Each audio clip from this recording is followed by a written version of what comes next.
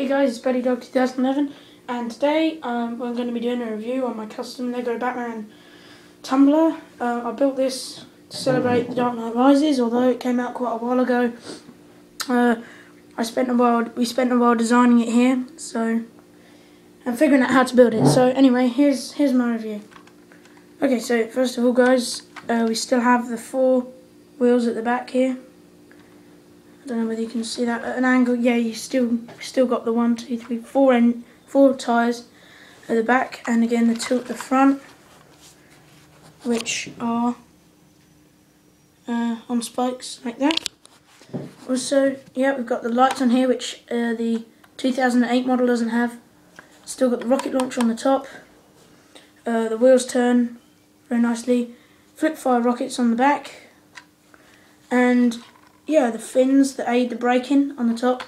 you can see those right there.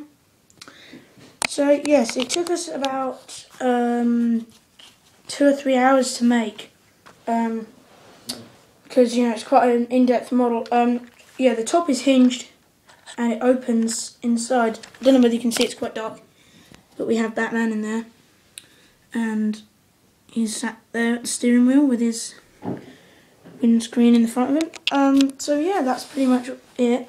Um, it rolls very, very nicely. Um, very nicely indeed.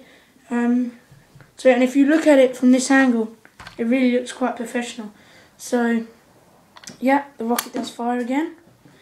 Um, so yes, um, hope you enjoyed this review and rate and subscribe to our channel. Thanks, see ya.